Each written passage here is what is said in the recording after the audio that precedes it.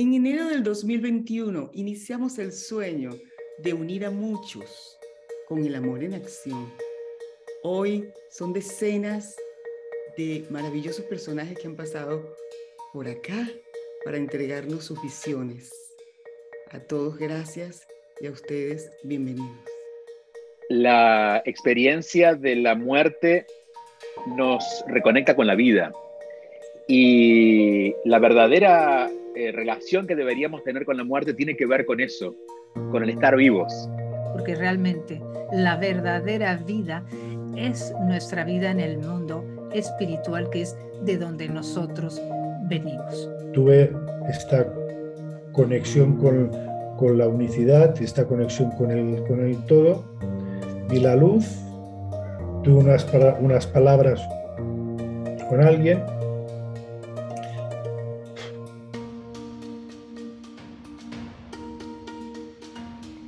y se tiene que llamar muerte porque aquí se le conoce muerte.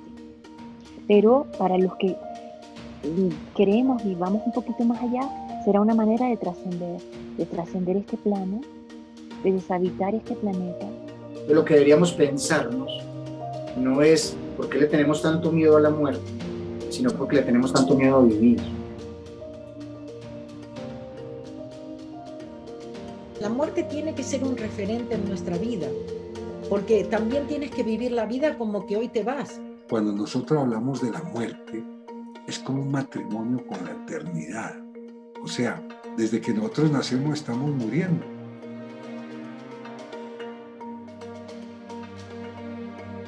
Pues han sido muchos años de recibir mensajes, de recibir información y de ayudar a muchísimas almas a encontrar la luz. Cuando un hijo se va es, es, es como un sacrificio de amor para que los padres, la familia, la gente que te quiere evolucione.